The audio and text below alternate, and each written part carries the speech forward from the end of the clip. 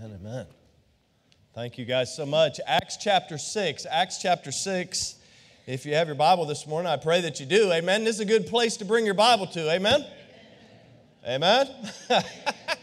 and if you don't have your Bible or you don't have your mobile device there, we have some Bibles there for you that you can make use of. Well, since the end of August, we've been uh, walking our way through some specific instances when faith was either tested, when faith was either grown, or even in some cases, we looked at some uh, situations where faith was celebrated by our Lord. And then last week, as I said in my welcoming remarks, uh, we were blessed. We were blessed to have some special missionary guests with us from all around the world. And what a week we had. To God be the glory. Again, I give all the praise to Him. But man, I'm thankful for those of you, listen, who stepped up and stepped out by faith last week. Amen? And uh, our missions uh, uh, efforts will continue on. To God be the glory. And I'll be honest, I was a little bit shocked and a little bit in awe of how the Lord worked again. But uh, as I said in the Sunday school hour, that's what God's been doing for over 40 years here on the hill. Amen? And so we give Him the praise and the honor and the glory. But now that missions revival is over, you may be saying, well, what next? And you may have started to think, man, well, it's October. The leaves are starting to change. Pastor, you know, it'd be a pretty good idea if you started preaching some messages on gratitude or being thankful. I mean, we are coming up on Thanksgiving. Don't worry, I'll get there. Have patience. Have patience. I'm just waiting for the first day of November to start because that's when we're allowed to do the 30 days of thankfulness. Although I would suggest we need to start that puppy on January the 1st and have 365 days of thankfulness. Amen? But anyway, we'll get there soon enough. But today I felt like it would be a fitting conclusion to my previous message series if uh, we were to look at one more final story.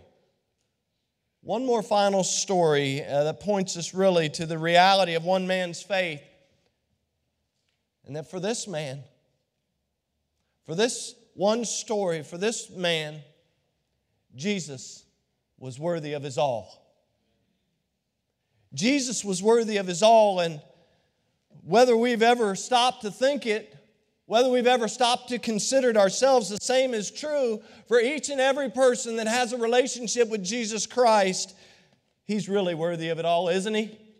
A couple of weeks ago, we were talking about Jesus, and I said he was Lord of all.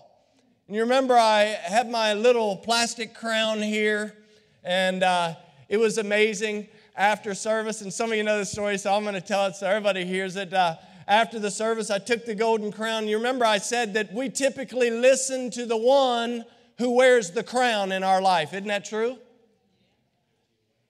Yeah, or your wife if she's wearing the crown. That's right, Ernie. but as I exited, there was one of our young ladies, and she was standing there, and uh, I said, Well, here you go, honey. I said, Why don't you see what the crown looks like? And so I put on, I said, Man, that crown looks so amazing on you. It looks better on you than it does me. And she says, Absolutely, because girls rule. I said, True, true. You got me. You got me again. But I said that Jesus was Lord of all. But today I want to talk to you about the fact that Jesus is worthy of our all. Last week during our missions revival, we were reminded that every believer, every blood bought child of God, everyone that believes in Jesus Christ for the forgiveness of sin and life everlasting, every one of us are missionaries. Oh my. Oh my. We're all called to missions, right? In fact, the Apostle Paul wrote, writing to the church at Ephesus in Ephesians chapter 4, he urges the believers, and, and by association, he urges us in Ephesians chapter 4 and verse number 1 that we're to walk worthy. In other words, we're to live worthy of the vocation. Now, hold on to that word here for a second. We're to live or walk worthy of the vocation wherewith we are called. And notice what he says in verse number 2 he says, We're to do it in all lowliness. In other words, with humility. We're to do it in meekness. We're to do it in gentleness. We're to do it with long suffering or patience. And then he says, forbearing one another in love. Now, I want you to go back to verse number one because I said, hold on to the word vocation. Because Paul says that we're to walk worthy of this vocation. The word vocation literally means invitation. We have responded to the divine invitation of Jesus Christ. As believers, once we respond to that divine invitation of Jesus Christ, the Bible says that we are new creations in Christ in 2 Corinthians chapter 5 and verse number 17. But if you follow on to that, verse number 18 tells us that we have been given the ministry of reconciliation. And you say, well, how do I do that? Well, verse number 19 says that we've been given the word of reconciliation. And you know what? Here's the capstone of it all. Verse number 20 says that we are ambassadors for Christ. Listen, every Christian has a ministry, whether we like it or we don't. We've been given a ministry, and we have all been given the word. You say, well, hold on, how do you know I've been given the word? Well, the Bible says faith cometh by hearing, and hearing by the word of God. And so, if you're a blood bought child of God, you have heard the word of God. Therefore, you have the word of reconciliation residing in your heart. You have a ministry of reconciliation. And uh, so, we're actually to be reconcilers. You know, I see a lot of people who want to start arguments all the time. What if we went out and we just loved people and tried to draw people to Jesus? What would that look like? What would that do for our church? What would that do for our neighborhood? Oh, listen, we all have a ministry, we all have a word. Where, and, and the reality is, did you know this? That Jesus Christ, God through Jesus Christ, has conferred upon every believer an ambassadorship. Joanne's an ambassador to the country of Tanzania, where she has been an ambassador for 24 years, sharing the love and the truth of Jesus with people. You see, missions is actually God's plan, but in God's plan, which is kind of crazy sometimes because when I look in the mirror, in fact, yesterday it was amazing at uh, Shirley's service. There was a gentleman sitting back over here uh, where you guys are, Josiah, kind of about where Josiah's sitting. And I walked by and I had seen this gentleman years and years ago before I left Northern Virginia and went to Missouri to Bible college and was serving out in Missouri for a while. And I remember him but something had changed. The fact that my hair was white and falling out had changed. The fact that his hair was a little bit better than mine, salt and pepper, had changed. And I remember this guy, he used to be like this rugged, rugged, tough, and tumble guy, and uh, that had not changed. He still looked about the same. And I said, I said, man, I said, uh, that's crazy that you're here. Man, I didn't know how you knew Shirley. And so we started talking back and forth and one another. And he said, Are you, are you the pastor here? I said, Yeah. I said, God has a sense of humor. He, he lets us actually serve him. Can you imagine it? We're not worthy to do anything, and yet he allows us to serve him. I said, I said, Yeah, it's hilarious, isn't it?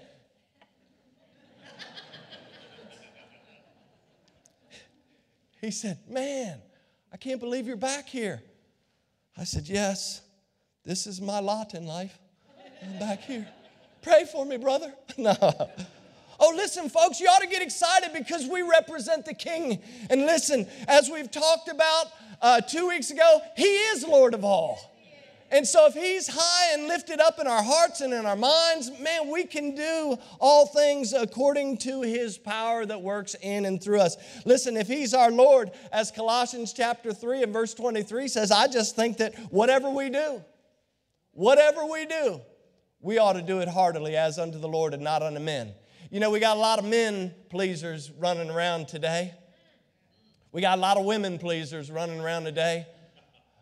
But can I tell you, you'll never go wrong if you just please the Lord. That doesn't mean you're going to be popular. That doesn't mean you're going to have uh, all the riches of this world, but I can tell you that you will never, ever go wrong if you do right with the Lord. It was author uh, Keith Wright who said this, and I've used this before, but I like it so much we're going to use again. He said, Lost people matter to God, and so they must matter to us which is why I believe in having a strong missions ministry here at Battlefield Baptist Church. You know, throughout the gospel accounts, Jesus prepared, he instructed his disciples, and what was he preparing them to do? Say it out. Yeah, that's right. Somebody said it. Amen. You got the right answer. He was preparing and instructing his disciples to go In fact, in Mark chapter 16 and verse 15, he tells them to go into all the world and preach the gospel. In Matthew chapter 28 and verse 18, before he tells them to go, the really cool thing is he actually assures them of his own power. He says, All power is given unto me in heaven and earth. And he says, Hey, therefore, guess what? Since I've got the power and since you belong to me, he says, Go. He says, Go and preach. He says, Go and teach, go and baptize, go and disciple the whole world. This is what Jesus was talking about. And I think about just before his ascension into heaven, I was talking about this on Wednesday night. His last words just before ascending into heaven, he says, Hey guys, I got some I got some news for you. I'm getting ready to go up to heaven. Remember I told you that I'm going to go and prepare a place for you and if I go and prepare a place for you, I'm going to come again and receive you unto myself. That where I am there you may be also. He said, "You remember that time when I was talking to you over here?" He said, "Now here's what I want you to do." He says, "You need to go out and you need to be witnesses in all of Jerusalem and Judea and Samaria and to the uttermost part of the earth." Now if you look back at Acts chapter 6, I want to remind you of some things as we draw close to Acts chapter 6. As we read Acts chapter 2, 3, and 4, you can clearly see because Acts chapter 1, he says, Listen, you're going to be witnesses. And they go and they start praying. And then in Acts chapter 2, the Holy Spirit falls. And we can see some great things taking place in the early church right out of the gate. But can I tell you in Acts chapter 2, Acts chapter 3, and Acts chapter 4, and even 5, they're primarily taking place in Jerusalem. So, up until we get to the point of Acts chapter 6, there's a whole lot going on in the city of Jerusalem, and not all of it's good, but there's a lot of things going on in Jerusalem. But you remember, what did Jesus say? He said, Go ye into all the world. He didn't say, Hang out at home, battlefield. He didn't say, Hang out in the pew. Now, I'm glad you're here. By the way, you need to call your buddy, call a friend, phone a friend, and tell him to get back in the Lord's house. Amen? These pews are comfortable. They'll find rest for their weary back on these pews. Get them back in the Lord's house. And, and so by the time you get to chapter six, here's where we're introduced to a man. By the way, there's a need in the church in Acts chapter 6. And, and but anyway, we're, we're introduced to this man named Stephen. And Stephen's story is a huge turning point, not only in the book of Acts, but in the proclamation or the spread of the gospel. Notice at the beginning this need in the church.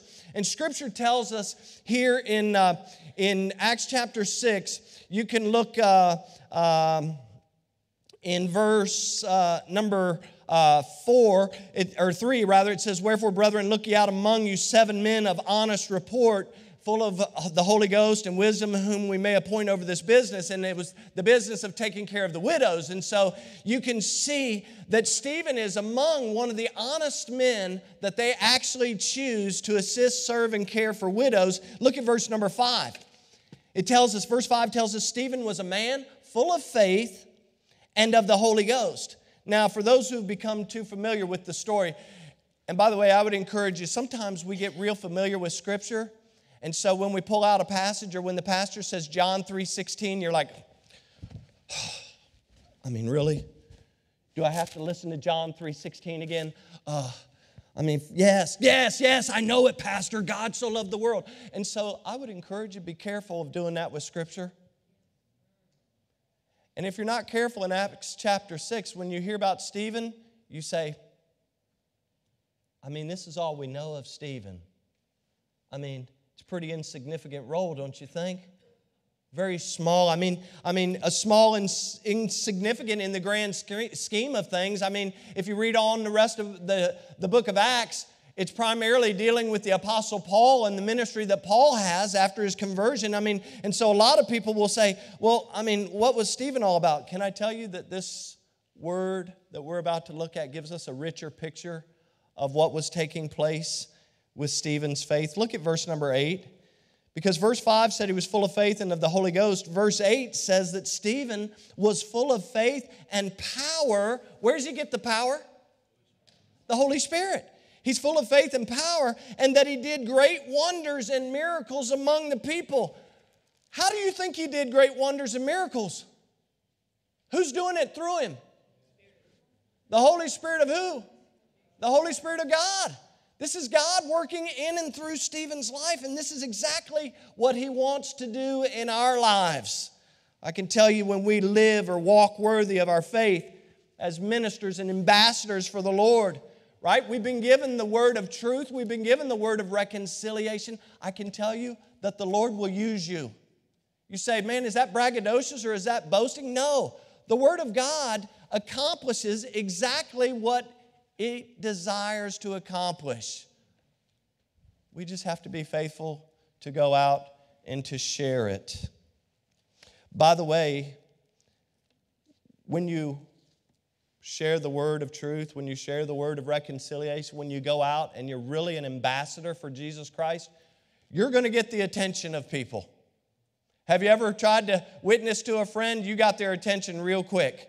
It was okay. It's like the missionary said, it's okay. Uh, Don Barry was talking about sharing our story, remember? And it, it's okay to talk about um, the, the, uh, the football game later today. It's okay to talk about the hockey game or the baseball game or whatever game or whatever movie you just saw or whatever's coming down the pipe at work. But the moment you turn the conversation to Jesus, sometimes it gets real quiet, doesn't it? Have you ever had that? You're like talking about a lot of things, and all of a sudden you say, you say the word Jesus, man. The brakes hit.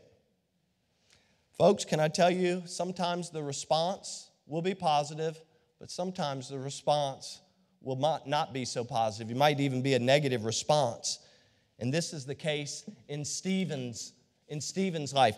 In fact, look with me at verse number 9. Now I'm going to read here. I want to read a few verses from verse number 9, Acts chapter 6. Now I'm going to read from the CSB uh, what it says here. After Stephen's doing great wonders and miracles and God's using him in the CSB, here's how it puts it opposition arose.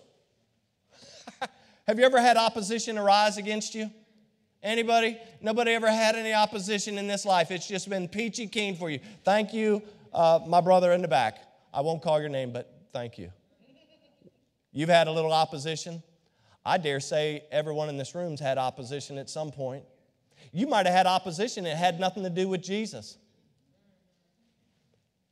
But here's what it says happened it says opposition arose to what was taking place with Stephen because of his bold faith, because God was using him to do wonders and miracles. It says opposition arose. Look at verse number nine. However, from some members, uh, however, from some members of the freedmen's synagogue, composed of both Cyrenians and Alexandrians, and some from Cilicia and Asia, they began to argue with Stephen. And verse number 10 says this verse number 10 says, But they were unable to stand up against the wisdom and the spirit by whom he was speaking. Verse number 11, then they secretly persuaded some men to say, We heard him speaking blasphemous words against Moses and of God. Now, just stop here in verse number 11 because it says, and then they secretly persuaded. The Greek word there means that they actually hired. They went out and they procured people to lie against Stephen. Do you think that happens today? I don't know. Call me crazy.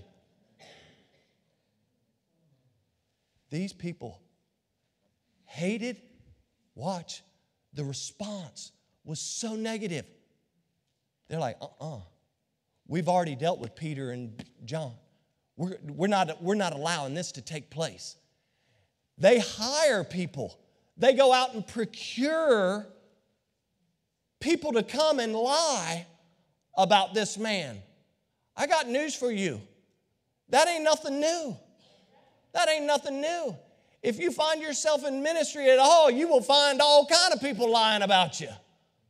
I probably have three or four heads. I don't know. My wife thinks I have at least two. Guys, this is what's taking place in Scripture. Look at verse number 11 again. They secretly persuaded some men to say, We heard him speaking blasphemous words against Moses and God. Look at verse 12. They stirred up the people. So here's what they do they stir up the people, they stir up the elders, they stir up the scribes. So they not only get the bystanders, they get the church people riled up. So they go and hire people to get the the church people riled up about what Stephen is saying, and they came and seized him. That word means that they came on him without warning and in hostility. They seize this man and they take him in violence to the Sanhedrin. Verse number 13 says that they uh, also presented false witnesses. More they get more people. This is crazy, guys. Look at what Scripture's saying. They find more false witnesses who say this, is what they say this man never stops. He never stopped speaking against the holy place and the law, for we heard him say that this Jesus of Nazareth will destroy this place. They're talking about the temple. And he says, and he will change the customs that Moses handed down. And then in verse number 15, the Bible says, and all who were sitting in the Sanhedrin looked intently on him. And notice what only God can do. They look at him, they hear all this stuff, but when they look on Stephen, they see his face as if he had the face of an angel. In the midst of all this opposition, in the midst of all this fake news, so to speak, they were saying about him, this false witness, these lies that people had conjured up, they had been paid to say these things. The Sanhedrin, they look on Stephen and they say, Oh my goodness, has the face of an angel. And if you know scripture, you know in Acts chapter 7, the high priest begins in Acts chapter 7 and he says, uh, he said, Are these things so? So he basically asked Stephen, Is all of this stuff true? All of these false witnesses, all this stuff that they're saying about you, is this true? And then for the rest of the chapter, most of the chapter, Stephen proceeds by preaching one of the longest sermons in the book of Acts. He goes all through it. He literally gives a detailed history of Israel all the way back and he brings it all the way up through the crucifixion of Jesus Christ. He points them to Jesus. And then look down at verse number 54 because here's where you see what takes place. This is, this is what takes place in verse 54. It says, And when they heard these things, they were cut to the heart. they were cut to the heart. They were enraged. And the Bible says they gnashed on him with their teeth. That's an ugly picture there, that they gnashed on him with their teeth. It, the imagery, watch this, the imagery is as if a pack, like a pack of hungry wolves. These are the so called religious right, the religious leaders of the day became like a pack of hungry wolves as this man tells the story. Look at verse number 55. Verse 55 it says, But he, being full of the Holy Ghost, looked up steadfastly into heaven and saw the glory of God. Can we just stop for a second? Sometimes, can I just encourage you today, if you don't get anything else, you say, Man, I've already turned you off, whatever. Sometimes we just need to look up. You dealing with something today? Are you fearful today? Look up. You filled with some kind of uh, sinful problem today? Look up. Because I can assure you, if we'll stop looking down on our issues, if we'll stop looking around on who's right, who's wrong, who's in the middle, who's to the left, who's to the right, and we'll start looking up, guess what? Just like Stephen, we'll see the glory of God. Amen? That's a message in itself. I could preach that for about 30 minutes. Just look up.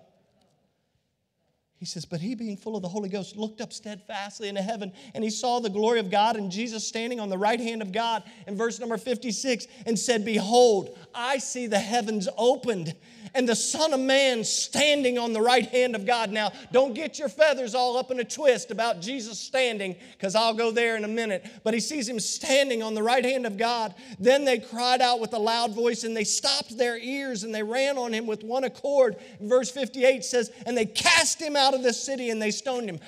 Do you know that that was illegal what they were doing? They were supposed to have a vote. They had no vote. They had no talk about it. They literally ruined, run him out of the city and they stoned him, the Bible says here in verse number 56, uh, or 57, 8 rather, excuse me. He says they stone him.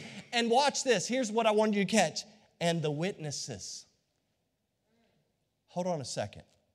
Have you ever paid attention to that before? Look at verse 58 it says, and the witnesses laid down their clothes. Folks, that, that's the false witnesses. Those are the ones who are procured. Those are the ones that were hired to lie against this man. Are you kidding me? These false witnesses lay down their clothes at the young man's feet, and we know him as Paul, but before he was Paul, he went by the name Saul. Saul consenting unto his death. And look at verse 59. And they, They stoned Stephen. Folks, the truth did not matter. It was a murderous mob scene. But notice verse number 59, because in the midst of it all, look, it says, And they stoned Stephen, who was calling on God and saying, Lord Jesus, receive my spirit. And he kneeled down and he cried with a loud voice, Lord, lay not this sin to their charge. And when he had said this, he fell asleep. Look at verse 1 of chapter 8 first before we move on. Verse 1 of chapter 8 tells us that there was a great persecution against the church, which was at Jerusalem. Can I tell you that the, the great persecution was not because the disciples were going into all the world and preaching the gospel. The persecution was acerbated and began to thrive with great, great fierceness because of the boldness of one man's faith. One man named Stephen. The persecution started it all. By the way, Stephen one person, can you think about it? One person who was convinced that Jesus was worthy of his all, and this is what began to take place. I put in my notes that as believers, you and I have been blessed as beneficiaries of the good news that Jesus saves. And so we must ask ourselves the same question that Stephen had to ask himself in the moment in which he was being persecuted. And that question is whether Jesus is really worth our all. Is Jesus really worth our all? Think about it. Is he really worth our all? I'll ask again. Is Jesus really worth our all? I didn't know if we had to pray about it or not.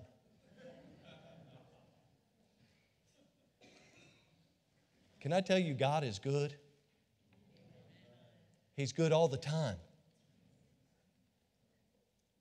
Jess, Anna, Rhonda, kids, yeah.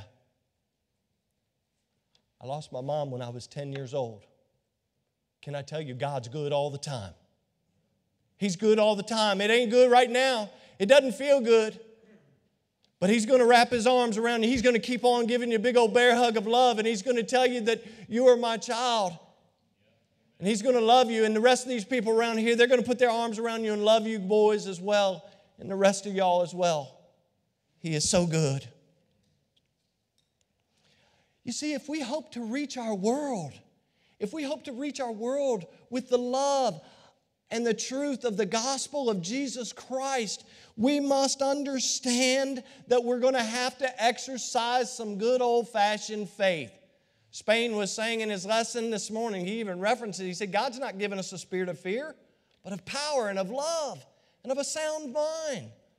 We have to go out believing just as Stephen. Here, I'm going to give you a few things, just as Stephen did. We're going to have to believe that God actually wants to use us. We're going to have to believe that God wants to use us. And I shared this with you a few years ago, but it was Stephen Neill in his book, The History of Christian Missions. Here's what he said He said, The only thing that's more remarkable than the speed at which the gospel was spread during the first century is its anonymity. He said, By the end of the first century, there were three major church planting centers in the known world at that time. He says there was one in Antioch, one in Alexandria, and one in Rome. He goes on to say, he said, What's amazing is that we have no idea who actually planted any of these ministries. Now, if we go to Acts chapter 11, we can, re- we can read how the church was planted at Antioch, and we, re- and we actually re- read how some men actually, who after the persecution that starts to take place in Acts chapter 8, it works its way out, they were actually scattering all around the known world at that time. We can read how these men went and they preached Jesus in verse number 20 of Acts 11. But in verse number 21, God's word says that a great number believed and turned to the Lord. There again, faith cometh by hearing, and hearing by the word of God. So that took place in Antioch. When it comes to Rome, we know that the Apostle Paul, over and over, he wanted to go to Rome. Rome. I must needs go to Rome over and over. But by the time we get to Acts chapter 28, when Paul actually finally gets to go to Rome, the gospel has already been, been proclaimed. In fact, in Acts 28 and verse 15, the Bible says that when the brethren hear that Paul's in the area, they actually come out to meet him at these three taverns area uh, uh, outside the city. They come to meet him. And the Bible says in verse 18 that when they came out, Paul saw them. This is what he, he thanked God. He thanked God and took courage because the gospel had already gotten to Rome. Folks, the point is the, whether it be the first century or this century, the gospel spread just then as it does now through ordinary people just like you and just like me and just like Stephen, who had determined that Jesus was worthy of his all. Oh, yes. I believe the Lord wants to use you and I to do the same in Northern Virginia, but we must believe that God wants to use us. And secondly, here's the key you got to be filled with the Holy Ghost, the Holy Spirit of God. Amen? You got to have the Spirit. Acts chapter 6, look back at it. Verse 8 tells us Stephen was full of faith and power, but the key is not that he's full of faith and power, because if you don't know the rest of the story, you say, well, where does he get the power? You have to go back to verse number 5, which then tells us he was a man full of faith and, there it is, the Holy Ghost. In other words, no Holy Spirit, no power, no Jesus, no Holy Spirit. They're all connected. And before his betrayal and arrest and crucifixion, Jesus, you know, he's teaching his disciples in, in John chapter 13, John chapter 14, and 15, and 16. And John chapter 16, you know, Jesus says, Hey, guess what? Uh, he says, Because the world hated me at the end of John chapter 15, he tells them, Hey, they're going to hate you as well. He gets to the beginning of John chapter 16. He says, Guess what? There's coming a day when the world will persecute you, they will kill you, and think that they are doing the world a favor. It's basically the translation of what Jesus is telling them. But when you get down to verse number seven of John chapter 16, here's what Jesus says. He says these words He says, Nevertheless, nevertheless, I tell you a truth. By the way, Jesus doesn't lie. Amen? He doesn't lie like your coworker. He doesn't lie like a family member. He doesn't lie like a so called friend. He doesn't lie like your boss or whatever the case may be. He doesn't lie. And so he says, Here, he says, I'm going to tell you the truth. He says, It's actually beneficial or expedient for you that I go away. For if I go not away, the Comforter will not come unto you. But if I depart, praise the Lord. He says, If I depart, guess who's sending the Holy Spirit, by the way? Jesus says, I'm going to do it because I'm in charge. I will send him unto you. Oh, my friends. Acts chapter 1 and verse 8, I told you that Jesus told them to be witnesses in Jerusalem, Judea, Samaria, and the uttermost part of the world. But what I didn't share with you, and I didn't do it on purpose the first time we talked about Acts 1 8, is the fact that the beginning, the Bible says, Jesus said, But ye shall receive power after the Holy Ghost has come upon you. As a Bible believer, as a believer of Jesus Christ, you and I have a power that resides inside of us. And whether you have ever taken the opportunity to exercise that power is up to you. You're going to exercise the power? Are you going to try to do things in your own right? You see, it was the knowledge that God's power was residing in him that enabled Stephen to be willing, to be ready, and the ability to stand in his faith when trouble came his way. You remember last year we had missionary to Haiti, Kevin Faldy, who was here. Man, what a message. He was going, he was, he was like a fireball last year. And you remember he said these words. He said, Real faith is not for characters in a play. I thought that was good, and I remembered it. Real faith is not for characters in a play. You see, it's something that you and I must rely on and exercise every day. And as believers, Jesus says we all have the same power residing in us. And since that's the case, every one of us can actually exercise real faith just as Stephen did. Again, here's the key No Jesus, no Holy Spirit, no Holy Spirit, no power. In Acts chapter 2, I referenced that a lot of things were going on in the early church.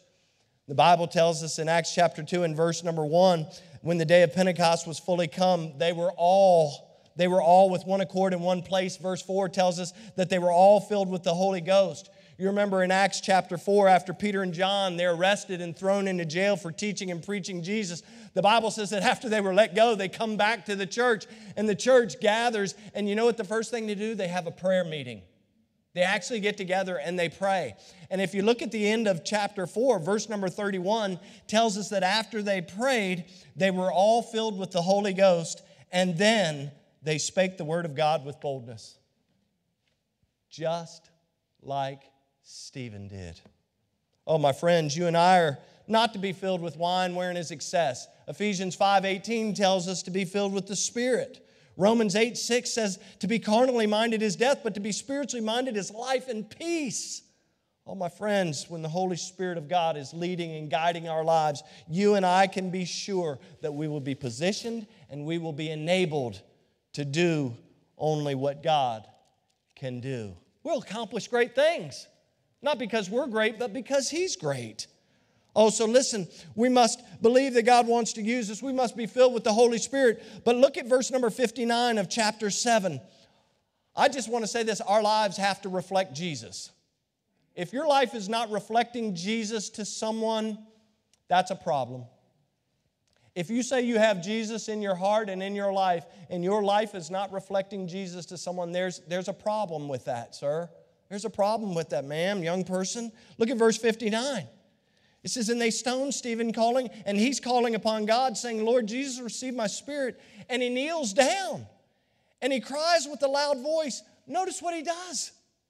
He reflects Jesus in this most intimate, in this most horrific moment of his life. He's being stoned to death. And notice what happens in verse number 60. He says, Lord, lay not this sin to their charge. And when he had said this, he fell asleep. It's literally a mirror of what Jesus said in Luke chapter 23 and verse number 34 when he said, Father, forgive them, for they know not what they do. This is the mindset. Let me ask you a question. If we took you out of the church today and started stoning you in the parking lot, would your mindset be, Lord, lay this sin not to their charge? I don't know any one of us that would say, Lord, forgive them. Lay not this to their charge. That was the Holy Spirit's power that was working in and through his life to say such a thing. It's incredible to me to think about in his dying moment, Stephen is actually trying to do for others what Jesus had done for him, pointing people to Jesus. He was reflecting Jesus. It was Martin Luther, that great reformer of yesteryear, who said it would not have mattered if Jesus had been born or died a thousand times if no one ever heard about it. Think about that.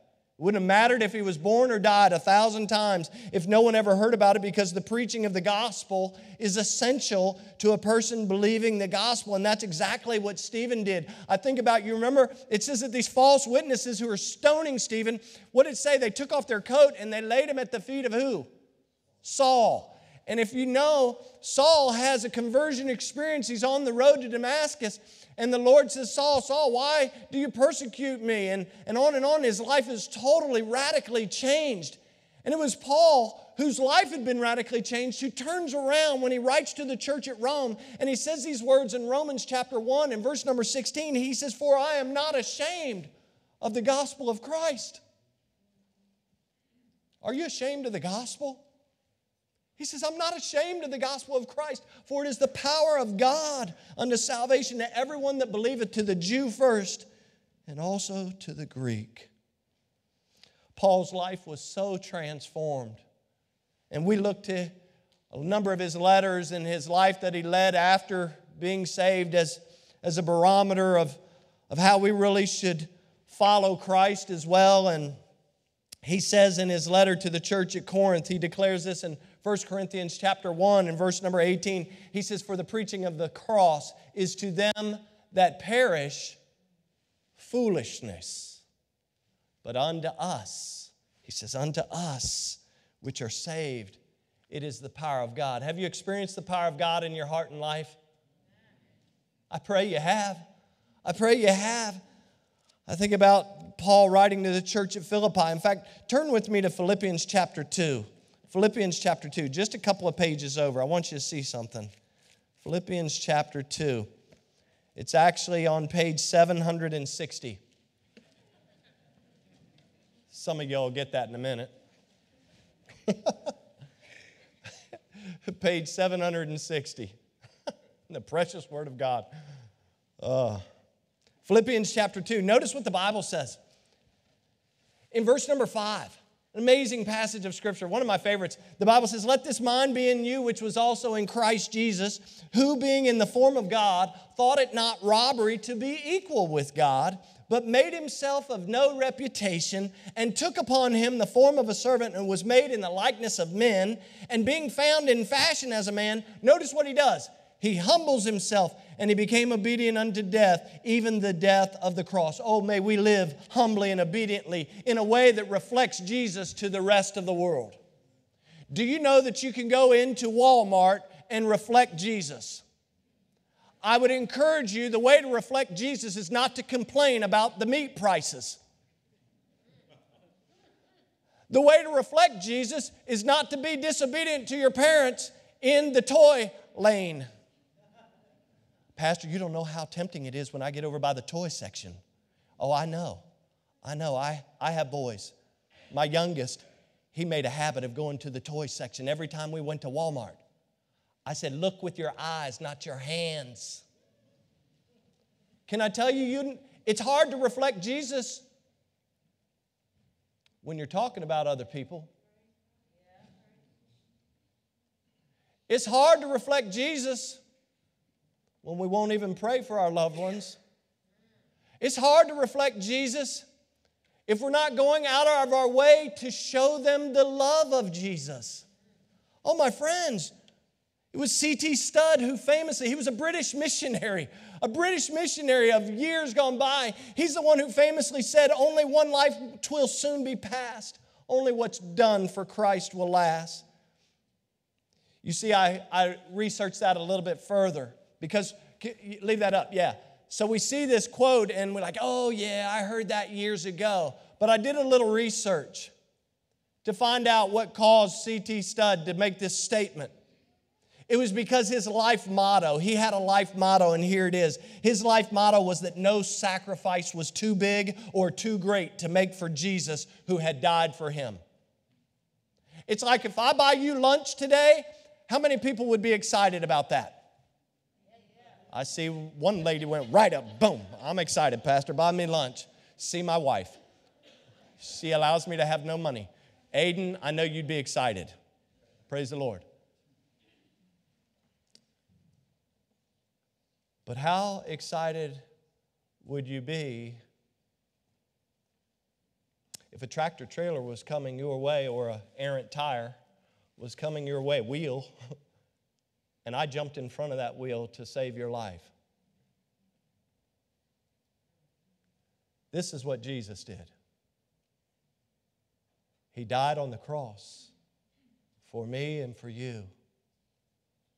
Oh, what joy should fill our hearts. What gratitude we should have. As C.T. Studd said, he said, Nothing, no sacrifice. Listen to this. This is his motto. No sacrifice was too big or too great to make for Jesus who died for me. This is what he was saying, and he was right, which is why Paul actually encouraged the church at Philippi in Philippians chapter 1 in verse 27. He said this Only let your conversation be as it becometh the gospel of Christ. Now hold that up there, guys, because the word conversation means conduct the way of life, the way that we're living. He says, let your conduct, let the way that you live be in such a way as it becometh the gospel of Jesus Christ. Folks, people need to see Jesus. Let me ask you this is just a poll question. Do we believe that Jesus is the answer for sin? Do we believe that He's really the remedy for sin? I mean, it's simple thought. People need to see Jesus living inside of us. But here's the deal it's not enough for them just to see Jesus living inside of us. We have to tell them about Jesus. We have to love them enough to tell them about Jesus. It was Charles Spurgeon who once declared this. He said, either, Every Christian is either a missionary, it's hard to even say the last part. He said, Every Christian is either a missionary or an impostor. Oh, we must believe that God wants to use us. We must be filled with the Holy Spirit. Our lives have to reflect Jesus. And then I close. Just as Stephen was convinced, we too must be convinced that Jesus is worthy of our all. Look back at Acts chapter 7 and verse 56. 55, rather. 55. Let's look at 55. Acts chapter 7. And the Bible says, But he, speaking of Stephen again, being full of the Holy Ghost, he's got the power, amen? He's got the power. He looks up. He looks up steadfastly into heaven and saw the glory of God and Jesus standing on the right hand of God and said, Behold, I see the heavens opened and the Son of Man standing on the right hand of God. And you say, Hold on, Stephen sees Jesus standing and not sitting. Well, join the crowd. Down through the ages, this is where I get crazy because you get a lot of smart thinkers, a lot of people who want to go out to whatever. They want to go out and hang out and they want to debate. This is impossible. This says, this means that God's word is null and void because Jesus sits at the right hand of God. There's no way he could be standing up. Let me just tell you something, sir, ma'am, young person. You don't tell Jesus what he can do. And neither do I.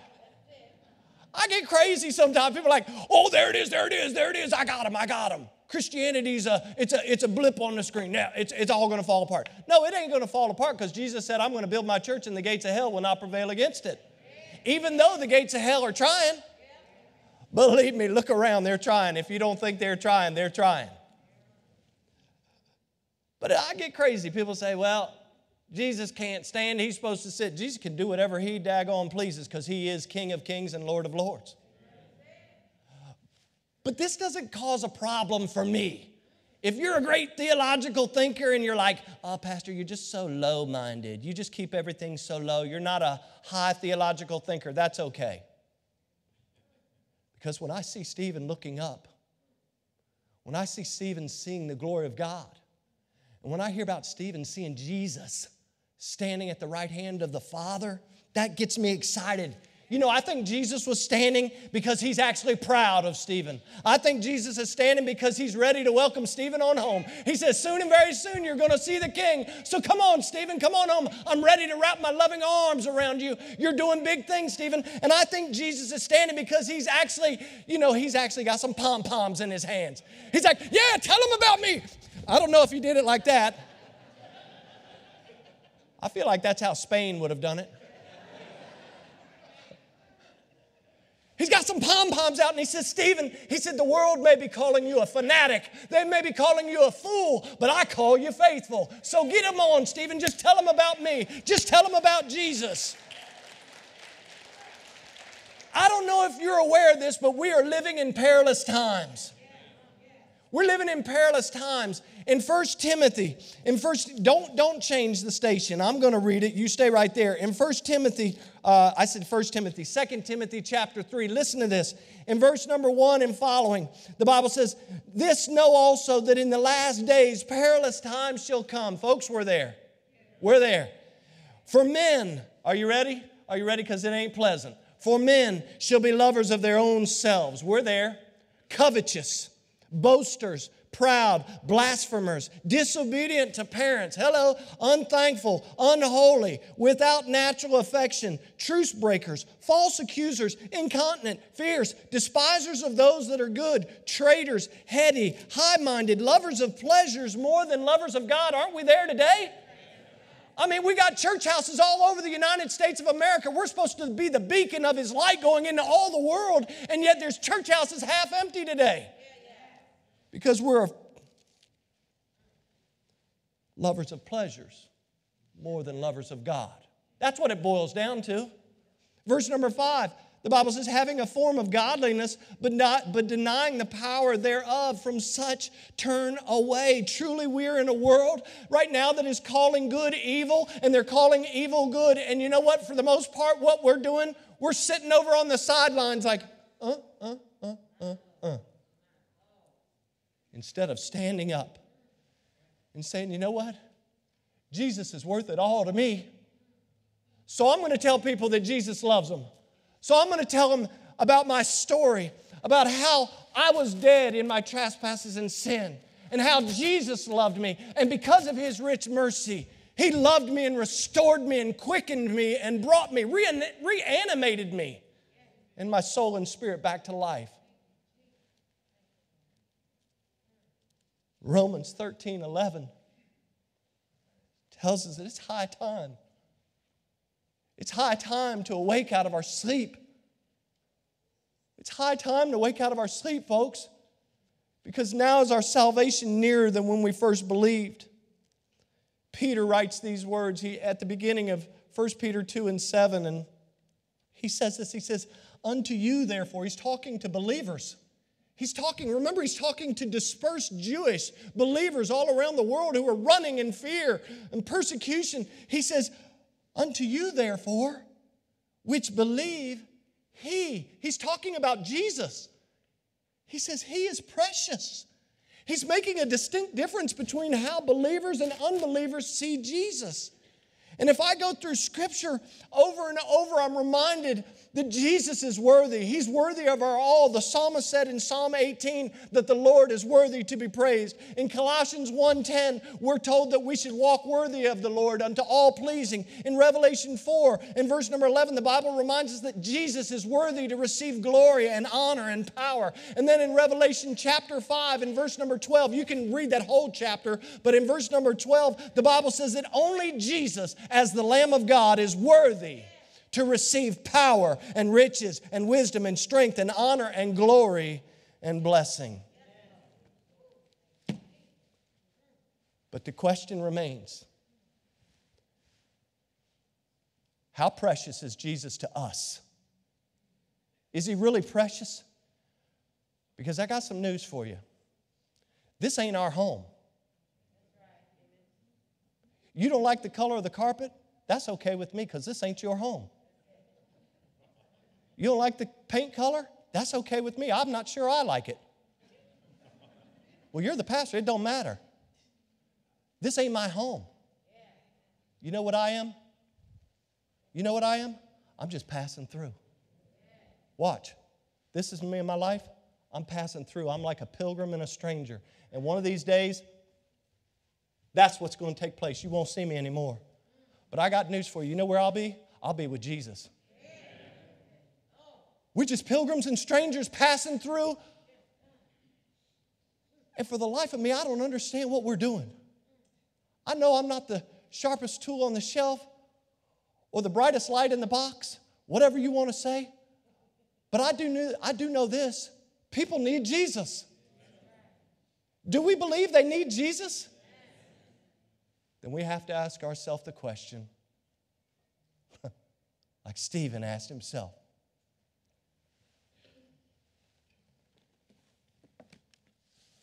Is he really worth it all? Because to Stephen, Jesus was worthy of his all. You may be here this morning and you say, Pastor, I'm going to be real honest with you. I'm going to be transparent with you today. And you, I don't want your hands up or I don't want you to jump up. You may say, you know what, I've never, I, I, don't, even, I don't even have a relationship with Jesus. I've heard about him.